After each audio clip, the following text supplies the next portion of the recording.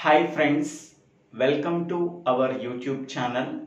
Today we have to discuss about C program to print n first Fibonacci numbers using a recursion. In the previous video, we are already discussed about C program to find out the factorial of a given number using a recursion and C program to find out the GCD of two numbers using a recursion. If anybody wants these videos, please refer that videos in my YouTube channel. Now we can go for how to print the first n Fibonacci numbers using a recursion. Okay. First of all, what is a Fibonacci series? So here uh, Fibonacci series is I am taking first two Fibonacci numbers 0, 1. Next Fibonacci number we are getting by adding these two Fibonacci numbers. So 0 plus 1 is nothing but 1. Okay. Next Fibonacci number we have to find out by adding this result and the previous Fibonacci number. We are adding these two. 1 plus 1 that is equal to 2. Next Fibonacci number we are getting by adding this number and the previous number. 1 plus 2 that is a 3. Next Fibonacci number we are getting this number and the previous number. 3 plus 2 is 5. Next Fibonacci number we are getting by adding this number and the previous number that is 8. Next one 5 plus 8 13. Next one 13 plus 8 that is 21. Next 13 plus 21 that is 34. Next 21 plus 34 that is 55. 34 plus 55 that is 89. In this way we are getting the Fibonacci series. So this is the Fibonacci series 0, 1, 1, 2, 3, 5, 8, 13, 21, 34, 55, 89. Okay. Now, how we are writing this program using a recursion? Okay. First, we have to write the header files hash include stdio.h. So standard input output header file. Next header file is hash include conio.h. Next one we have to write the function prototype. So int fib of int. So this is the function prototype. This function prototype tells to the compiler this is the function we are using in the program. It take only one parameter. That parameter data type is int. Okay. Next one void main. Every C program execution start with the main function. Okay. Now, what are the variables that we have to declare? That we are declared in the declaration section of the main program. I am taking two variables int i comma n. int i comma n. Next one, so CLR SCR. This is the clear screen function. This function is used for clear the output screen. This function is available in the header file called hash include conio.h so that we have to include this header file to our program. Next one. So printf enter n value. Enter n value. n is nothing but how many number of Fibonacci numbers we want to require in the Fibonacci series. Okay. that number can be read from the keyboard by using scanf function. By using scanf function, we have to read the n value. Okay. Next one, printf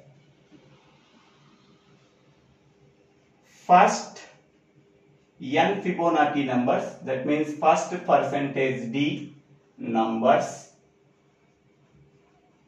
in Fibonacci series.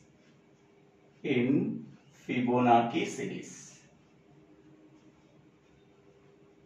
So in the place of percentage D we are writing the variable n variable n okay now we have to print the Fibonacci series. So we have, we have to use the for loop for i is equal to 0. i is nothing but loop variable. i less than or equal to n i plus plus. Now print print percentage d slash t double quotes and comma. Here call fib of i is nothing but calling function.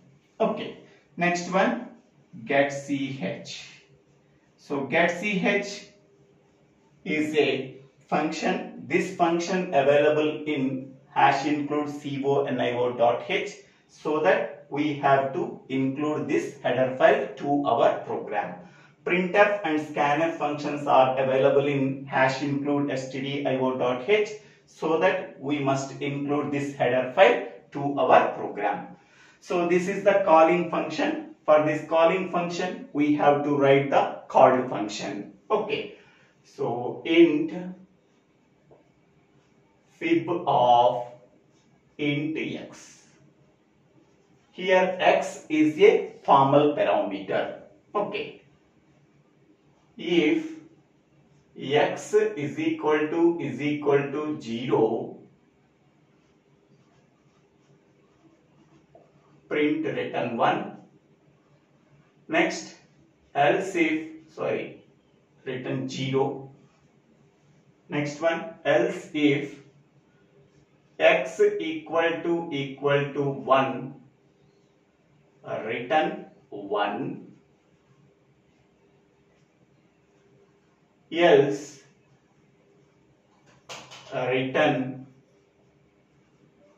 else return fib of x minus 2 plus fib of x minus 1 okay.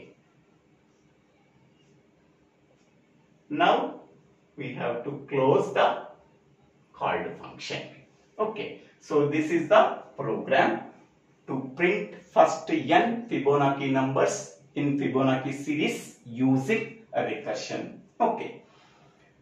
So here we have to write output also. Okay. Up to now we are already discussed. So printf enter n value. Okay. So enter n value.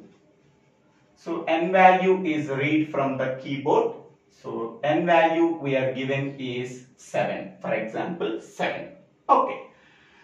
Now print a first percentage d numbers in Fibonacci series. Okay. Here in the place of percentage d we are substituting n value. So first 7 and value 7. 7 Fibonacci numbers. First seven numbers in Fibonacci series. Fibonacci series. Okay, we have to print it. First, for i is equal to 0, initially i is a loop variable, i is equal to 0, 0 less than or equal to n, n value is 7, condition true. If the condition is true, then the control goes to the body of the for loop. printf percentage d slash t fib of i. Here this is a calling function. So function name is fib, parameter is i. i is a actual parameter. What is the value of i? 0. Fib of 0. Okay, whenever a function is calling in the main program, so the control goes from calling function to called function. Here this is a called function. Okay, called function int fib of int x where x is a formal parameter. So the value of the actual parameter is copied into formal parameter. Okay. So what is the value of i? 0. So fib of 0. 0 value is copied into x value. Now we are calculating fib of 0. Okay. Brace begin if x is equal to is equal to 0. What is the value of x? 0. 0 equal to equal to 0. Condition true. Then the control goes to the if block. In the if block only one statement is there. Return 0. This value 0 is uh, returned from calling function called function to calling function calling function okay so this 0 value is printed so first 0 value is printed okay after that slash t we have some space here okay next i value is incremented now i value 1 so 1 less than or equal to 7. Condition true. The control goes to the body of the for loop. Printf percentage d slash t fib of i. i value is 1. So this is the calling function. The control goes to the called function. So here i value is copied into formal parameter x. Now x value is 1. Now fib of 1 we have to calculate. Brace begin if 1 equal to equal to 0 that is false then go to the else if block. In the else if block 1 equal to equal to 1 condition true. Here x value 1 1 equal to equal to 1 condition true. The control goes to the this block. In this block only one statement is there return 1 so one value is written so 1 is a integer so that return type is int then this value is transferred from called function to calling function. Now, what is the value of this one? Fib of 1? 1. This one value is printed. In the place of this one, 1 is printed. Okay. Then after that slash t. Here slash t we are getting. Next one, i value is incremented. Now i value is 2. 2 less than or equal to 7. Condition true the control goes to the body of the for loop. Printf percentage d slash t fib of 2. Now i is i value is 2. Actual parameter i value is 2. It is copied into formal parameter x. So now x value is 2. The control goes from calling function to called function. The value of i is copied into x. Now x value is 2. So fib of 2 is calculated. So brace begin if 2 equal to equal to 0 false then go to the else if 2 equal to equal to 1 that is false go to the else block so return fib of x minus 2 okay what is the value of uh, uh, x now it is 2 so now fib of 2 minus 2 2 minus 2 is 0 plus fib of 2 minus 1. 2 minus 1 is 1. Here x value 2, 2 minus 2 is 0, 2 minus 1 is 1. So fib of 0 plus fib of 1. Fib of 0 value is 0. Fib of 1 value is 1. 0 plus 1 is equal to 1. Okay. So this entire uh, expression returns the value 1. So return 1. 1 is one data type is integer so that we have to write the data type int before the called function name. So this one is returned to the calling function. This value is the one. One is printed. Now one is printed. After that slash t. Okay, here we have to write slash t. Okay, now i value is incremented. Now i value is 3, 3 less than or equal to 7. Condition true. The control goes to the body of the uh, for loop. So printf percentage d fib of 3. Here this is a calling function. i is a actual parameter. Its value is 3. The control goes from calling function to called function. Here x is there x is a formal parameter. The value of actual parameter is copied into formal parameter. Now, fib of 3 is calculated. Okay. So, brace begin if 3 equal to equal to 0, false, then go to the else if 3 equal to equal to 1, false, then go to the else block. So, here x value 3, fib of 3 minus 2, that is 1 plus fib of 3 minus 1 that is 2. So what is fib of 1? 1 plus what is fib of 2? That is 2. 1 plus 2 is equal to 3. Okay, fib of 0, fib of 1, fib of 2. Okay, now this entire expression returns value 3. 3 data type is int. So we have to write the data type int before the function name. Now this value is returned to the calling function. Now this value becomes the uh, sorry fib of 2 is 1 sorry. 1 so it is now 2 okay 2 so 2 data type is int so that uh, before the function name we have to write int. This 2 value is returned to the calling function so this entire value is 2 2 is printed. So 2 is printed. After that slash t. Now it is there. Okay. Now i value is incremented. Now i value is 4. 4 less than or equal to 7. Condition true. The control goes to the body of the for loop. Printf percentage d slash t fib of 4. Now actual parameter i, i value is 4. The control goes from calling function to called function. Here the value of i is copied into formal parameter x. Now x value is 4. Now fib of 4 is calculated. Brace begin if 4 equal to equal to 0 false then go to the else if 4 equal to equal to 1 false go to the else block return fib of x value 4 fib of 4 minus 2 that is 2 plus fib of 4 minus 1 that is equal to 3.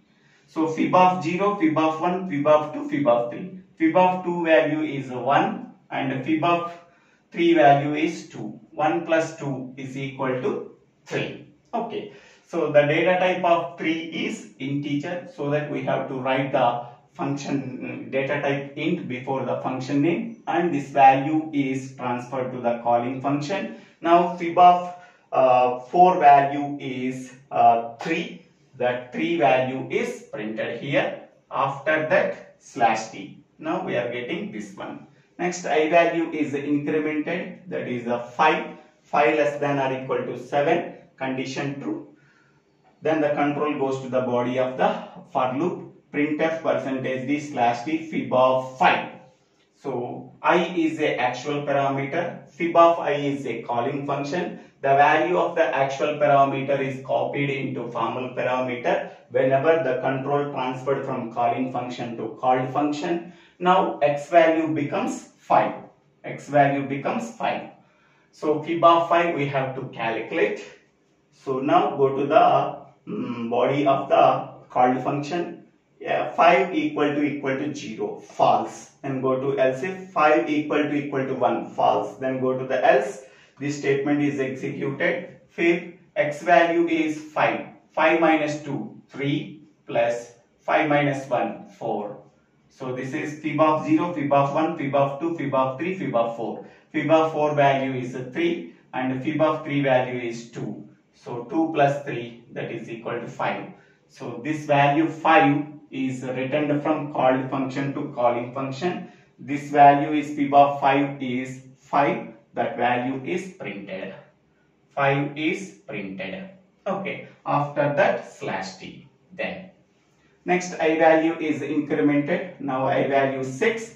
6 less than or equal to 7 condition true then the control goes to the body of the for loop fib of 6 is the calling function where i value 6 i is the actual parameter the control goes from calling function to called function the value of i is copied into formal parameter x now fib of 6 we have to calculate then the control goes to the body of the called function. If 6 equal to equal to 0, false. Go to the else if 6 equal to equal to 1, that is false. Go to the else. In the else block, only one statement is there, that is the fib of, so x value is a 6, 6 minus 2, that is 4, plus 6 minus 1, that is a 5. So what is the value of fib of 5? That is 5. Plus what is the value of fib of 4? That is 3. So 3 plus 5 is equal to 8. 8 we have to write here.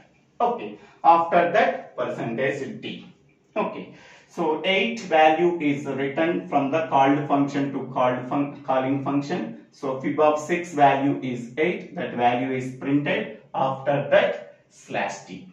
Okay. Next i value is incremented. Now i value is 7. 7 less than or equal to 7. Condition true the control goes to the body of the for loop.